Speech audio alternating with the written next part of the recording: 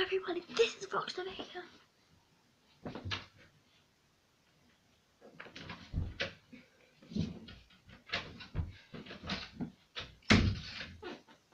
And today, I am going, well, actually first, I'm going to do another theory on Five Nights at Freddy's. And a really good theory for you. But firstly, like, my, I was like, this is from absolute age because it's the old time.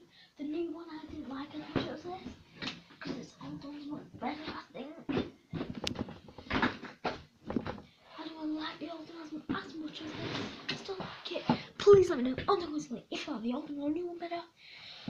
Very nice. I could have got that blue with yellow or something. Let's get this one. So today's theory on Five Nights at Freddy's is who killed the phone guy?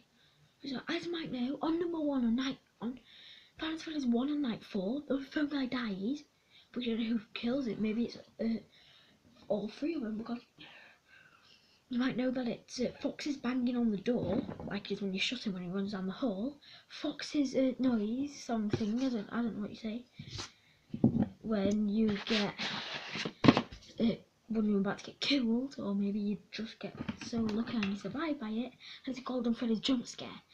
So, who killed him? Well, my friend Isaac Lawson said that he says he, he says it might be all three of them, all as a mixture. Or maybe he just passed out but he was that scared because he went, oh no, and then he died. And he said that he won't be here tomorrow, so he must have known that he died.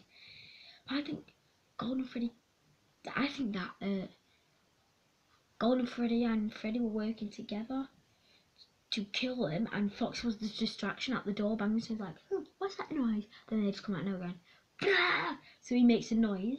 So Freddy and Foxy are over there in the door. He bangs on the door. Then he's like, hmm. And then he makes a noise and it goes, and Golden Freddy comes behind him, jump scares him, or maybe just passes out, but he's that scared. But why, if he if he passes out, then why Golden Freddy's jump scare so bad? I don't want to know. So please let me know on the comments below if you want to see more theories on Five Nights at Freddy's, and I'll see you on the next one. Bye.